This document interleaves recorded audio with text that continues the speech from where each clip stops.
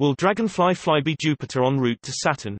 The table on the Exploration of Jupiter Wikipedia page suggests Dragonfly will be the first mission to the outer planets that will not use a gravity assist from Jupiter. Is there a source confirming this? Here is a paper which among other things includes the results of a trajectory search. They say, gravity assists of Earth, Venus, and Mars were included with a patched conics assumption. Jupiter was immediately discarded as it is out of phase during the desired time period. The trajectories proposed in that paper involve multiple Earth and Venus flybys. I guess if the mission was delayed a few years then Jupiter might come back into play.